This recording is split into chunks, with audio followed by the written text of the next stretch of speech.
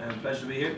Um, yeah, listen, I'm very excited to be here. Um, you know, I think just chatting to Raj and, and Vinod a couple of weeks ago, um, you know, I think the tournament's going to be bigger again this year than, than what it was last year. Um, I think if you look at the overseas players that have come in to each team, you know, there's some very good players who are, who are playing in the tournament. So um, I'm really excited to, to get involved. I've obviously never played here before. Um, I've heard great things about the passionate fans and, and, and you know, big crowds at games. So you know, that's the main thing.